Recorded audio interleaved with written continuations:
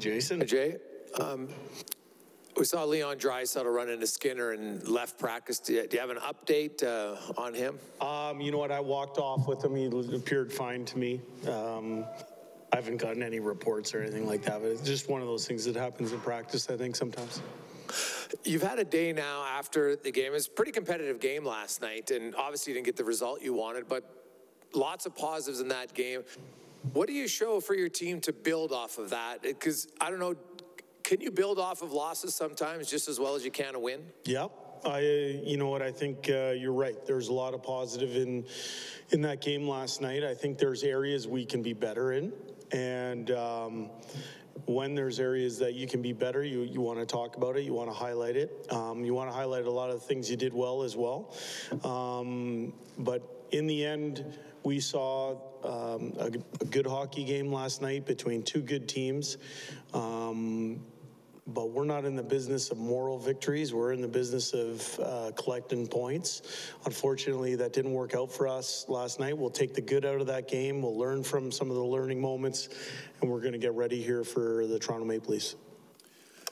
Uh, Ken moved Jesse Puljujarvi today. Uh, Jay, just your thoughts on what you saw from him, and um, you know, do you think that there's a player in there that can maybe, you know, if he finds his stride, maybe contribute in a different way than he has recently for you guys? Um, yeah, well, first I would thank Jesse for being a member of our organization for so many years. I've got to see him at different um, stages in his career. I coached him in Bakersfield uh, when he came down to Bakersfield in my first year. Um, and then uh, obviously when I came up last year with Dave, uh, got to see him as a more mature player. Um, you know, for me, uh, he's someone who came to the rink, uh, was first and foremost a great teammate. Um, people enjoyed being in his presence. Uh, he worked hard.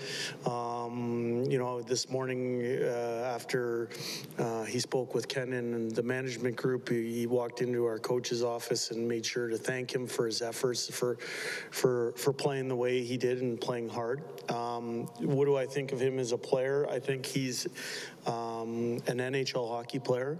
I think uh, it's my understanding that the team went to him and talked about, um, you know, possible extensions or whatnot, but it was determined, you know, maybe a fresh start or fresh somewhere else is in, in his interest. And, um, you know, I wish him well. I think he's a really nice young man.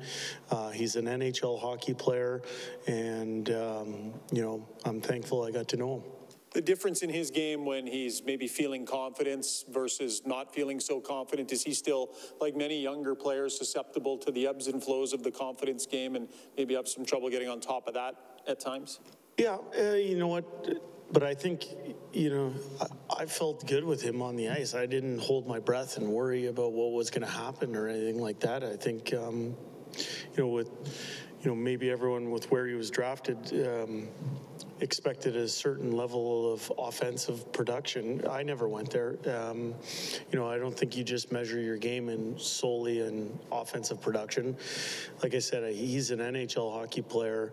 Um, you know, he's going to a good organization. Sometimes fresh starts or fresh scenery is best uh, for the player. We're seeing that in, with Klim Kostin, um, also a first round pick who uh, we were able to get out of uh, St. Louis. And, you know, for whatever reason, it didn't work in his first opportunity in St. Louis. Now, fresh start, fresh eyes. Sometimes, um, you know, you're buoyed by that opportunity. Klim's taken advantage of it. And, you know, I'm, i know Jesse's going to do uh, do very well because he's, a, he's an NHL hockey player. He's going to a good team and a good coach. And as I said, we wish him well.